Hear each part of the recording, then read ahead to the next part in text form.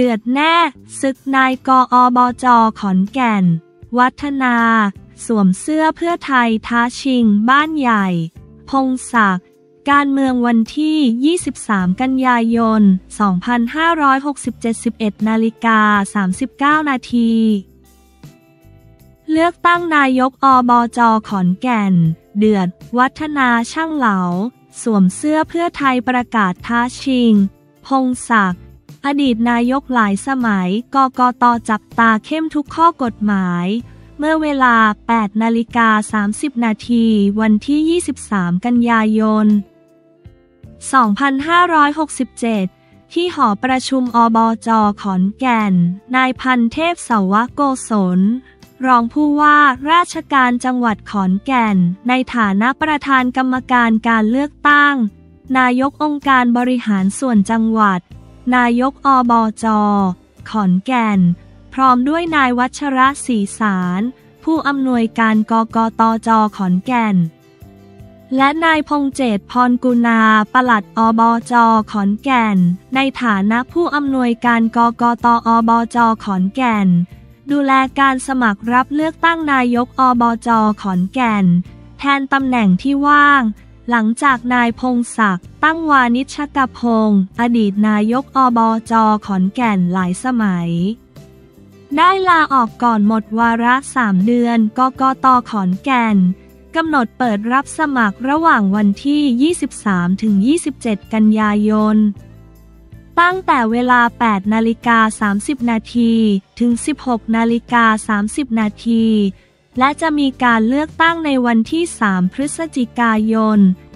2567 บรรยากาศ การรับสมัครรับเลือกตั้งวันแรก เป็นไปอย่างคึกคัก เริ่มจากเวลา 8 นาฬิกา 7 นาที นายวัฒนาช่างเหลาประธานสโมสร ฟุตบอลขอนแก่น ยูไนเต็ด และสมาชิกพักเพื่อไทย และอดีตสสขอนแก่น เดินทางมาสมัครพร้อมด้วยนายเอกราชช่างเหล่าสสพักภูมิใจไทย โดยมีกองเชียร์ตามมาให้กำลังใจอย่างคับข้าง ในเวลาไล่เลี่ยกัน นายพงศักดิ์ตั้งวานิชกพงศ์อดีตนายกอบจขอนแก่น หลายสมัยก็เดินทางมาสมัครพร้อมกับสออบจขอนแก่น และกองเชียร์จำนวนมากเช่นกัน ทั้งนี้ผลการจับหมายเลขผู้สมัครนายวัฒนาได้หมายเลขหนึ่งและ นายพงศักดิ์ได้หมายเลขสองก่อน ทั้งคู่จะออกไปพบกับกองเชียร์ประชุม อบจขอนแก่น นายวัชระศรีสาร ผู้อำนวยการกกตจขอนแก่น กล่าวว่า การรับสมัครวันแรกนั้นมีผู้สมัครสองคน อยากฝากถึงผู้สมัครทุกคนว่า ให้ปฏิบัติตามข้อบังคับและระเบียบอย่างเคร่งครัด ผู้สมัครสามารถใช้งบหาเสียงได้คนละ 9 ล้านบาท โดยต้องยึดหลักและยึดระเบียบในการหาเสียงที่ถูกต้องเท่านั้น ขอนแก่นมีทั้งหมด 26 อำเภอจำนวน 42 เขตเลือกตั้งมีหน่วยเลือกตั้งจำนวน 2,668 หน่วย มีจำนวนประชากรที่มีสิทธิเลือกตั้ง 1.4 ล้านคน มีเพียงเขตอำเภอเมืองขอนแก่นที่มีการแบ่งเป็น 9 เขต แต่ไม่ได้สร้างความสับสนกับประชาชนผู้มีสิทธิ์เลือกตั้งแต่อย่างใดด้านนายพงเจตพรกุณา ปลัดอบจขอนแก่น ในฐานะผู้อำนวยการกกตอบจขอนแก่นกล่าวว่า การหาเสียงผู้สมัครทั้งสอง ต้องปฏิบัติเป็นไปตามกฎหมาย และระเบียบที่กำหนด ครั้งนี้ตั้งเป้าไว้ว่า จะมีผู้ออกใช้สิทธิ์ 70%ซึ่งที่ผ่านมามีคนออกมาใช้สิทธิ์ 59%ขณะที่นายพงศักดิ์ให้สัมภาษณ์ว่า จากประสบการณ์การเป็นนายกอบจขอนแก่น 6 สมัยรู้ปัญหาชาวขอนแก่น และแก้ไขปัญหามาตลอด ถ้าได้กลับเข้ามาคราวนี้ จะประสานงานต่อกองงานใหม่ สร้างให้ชาวขอนแก่น มีคุณภาพชีวิตที่ดีในทุกๆด้าน รู้สึกพอใจกับเบอร์ที่ได้เบอร์สองเป็นเบอร์คู่เป็นเบอร์ที่ดีมากการที่ตัวเองและทีมงานใส่เสื้อสีเขียว มาในวันนี้ แสดงให้เห็น และแสดงถึงชัยชนะ และใส่กำไลของหลวงปู่ศิลา เพื่อเป็นสิริมงคล และพกพระหลวงปู่ประจำตัวมาตลอด การที่เป็นนายกอบจมาหลายสมัยเป็นการได้เปรียบคู่ต่อสู้แน่นอน ประวัติไม่เคยเสีย มั่นใจในการเลือกตั้งครั้งนี้ 1 ล้านเปอร์เซนต์ด้านนายวัฒนา กล่าวว่า การเลือกตั้งครั้งนี้มีความพร้อมเต็มที่ ซึ่งตนมองว่า อบจขอนแก่นอยู่ที่เดิมมา 28 ปีแล้ว และสิบกว่าปีที่ผ่านมาไม่มีการเปลี่ยนแปลงอะไรเลย จึงอาสาเข้ามาเป็นนายกอบจขอนแก่น เพื่อให้ทุกคนมีทางเลือกใหม่ เป็นตัวแทนคนรุ่นใหม่ที่เข้ามาลงสมัครเป็นนายก อบจ ในครั้งนี้ตอนนี้สมัครเป็นสมาชิกพักเพื่อไทยเรียบร้อย วันนี้มาสมัครรับเลือกตั้งในนามของสมาชิกพักเพื่อไทย มีความมั่นใจ 100%ว่า ขอนแก่นที่ไม่มีการเปลี่ยนแปลงอะไร ตนจะเป็นคนทำขอนแก่นให้ก้าวไปข้างหน้า เพราะเคยเป็นรองนายกอบจมาแล้วเจ็ดปีเห็นปัญหาต่างๆ ของอบจ วันนี้มีพ่อมาให้กำลังใจด้วย ตอนนี้บ้านเมืองต้องการความเปลี่ยนแปลง ขอนแก่นต้องก้าวไปข้างหน้าในฐานะคนรุ่นใหม่ ต้องใช้เทคโนโลยีต่างๆ เข้ามาช่วยทำงานใช้ระบบดิจิทัล เข้ามารับเรื่องร้องเรียนความรวดเร็วในการทำงานการดูแลแต่ละพื้นที่ ความเดือดร้อนของชาวบ้าน ต้องปรับปรุงในหลายๆ เรื่องที่ผ่านมาสิบกว่าปี เราจะเข้าไป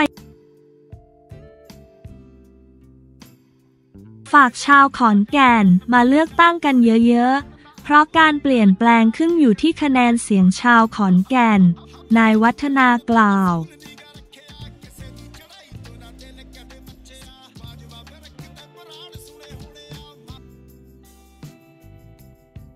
เปิดข้อความ ดาเรียภรรยา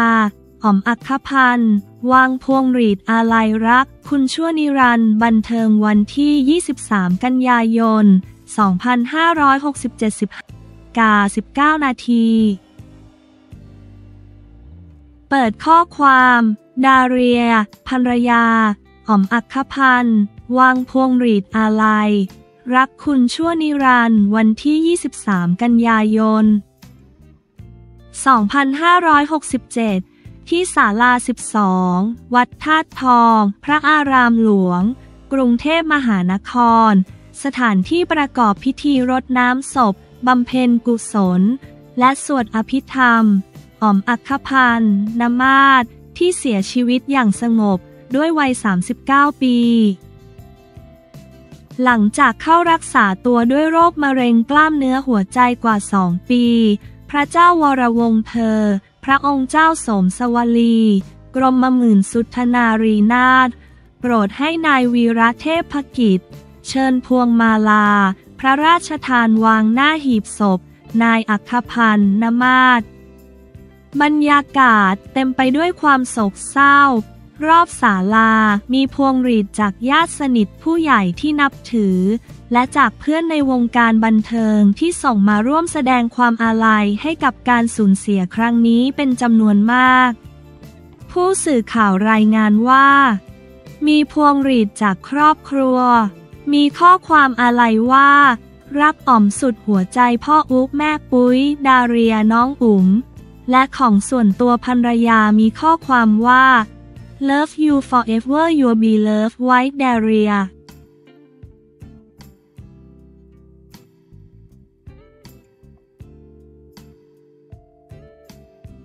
วันนอเผยร่างแก้ไขรัฐธรรมนูญ ปมจริยธรรมสสรัฐมนตรี เข้าสภาแล้วเล็งนัด วิปสามฝ่ายทกการเมืองวันที่ 23 กันยายน 2567 10นาฬิกา19 นาที วันนอชี้คำร้องให้การเลือกตั้งโมคะ เป็นเรื่องธรรมดากกตทำตามกิโลเมตรเตรียมประชุมวิปสามฝ่ายถกร่างแก้รัฐธรรมนูญ ปมจริยธรรมสสรัฐมนตรีแน่ทุกอย่าง ต้องสมดุลทั้งประชาชน บังคับใช้กมเมื่อเวลา 9 นาฬิกา วันที่ 23 กันยายน 2567 ที่รัฐสภานายวันมูฮัมหมัด นอมทา ประธานรัฐสภากล่าวถึงกรณีการยื่นร้องว่า เลือกตั้งสอสอเป็นไป โดยไม่สุจริต และเที่ยงธรรม และขอให้เป็นโมฆะจะส่งผลให้การเมืองชะงักหรือไม่ว่า เป็นไปตามกฎหมายของการเลือกตั้ง เมื่อคณะกรรมการการเลือกตั้ง กกต ได้ประกาศผลพ้นหนึ่งเดือนไปแล้ว และตรวจสอบคำร้องเกินหนึ่งปีไปแล้ว การร้องก็เป็นเรื่องธรรมดาตน ไม่แน่ใจว่า เขาร้องเรื่องการเลือกตั้งทั้งหมด รายบุคคลหรือที่มีการเลือกตั้งซ่อมใหม่ ต้องให้กกตเป็นผู้ตรวจสอบต่อไป ส่วนที่มีการยื่นร่างแก้ไขรัฐธรรมนูญ เกี่ยวกับจริยธรรมของสส รัฐมนตรีนายวันมูฮัมหมัด นอกล่าวว่า มีพักการเมืองบางพักได้เสนอมาที่สภา แล้วทางสภาจะดำเนินขั้นตอนตรวจสอบของฝ่ายกฎหมาย และบรรจุระเบียบวาระการประชุม ถ้าเป็นการแก้ไขรัฐธรรมนูญก็ประชุมร่วมสองสภา แต่ต้องประชุมวิปสามฝ่ายเพื่อพิจารณาจัดสรรเวลาต่อไป เมื่อถามว่าการแก้ไขรัฐธรรมนูญเกี่ยวกับจริยธรรมสอสอและรัฐมนตรีนั้นถูกข้อคารหาว่า เป็นการแก้ไขเพื่อพักพวกของตนเอง และอาจเป็นกฎหมายฉบับสุดซอยของพักเพื่อไทย ท้ายที่สุดจะเป็นชนวนความขัดแย้งครั้งใหม่หรือไม่ นายวันมูฮัมหมัด นอกล่าวว่าเมื่อมีการเสนอกฎพาประธานไม่ควรเสนอความเห็นว่าเห็นด้วยหรือไม่เห็นด้วยซึ่งเป็นเรื่องของรัฐสภาที่ต้องพิจารณาต่อไป อย่างไรก็ตามทุกอย่างต้องมีความสมดุลกันและกัน ทั้งสมดุลประโยชน์ของประชาชน และสมดุลในเรื่องของการบังคับใช้กฎหมาย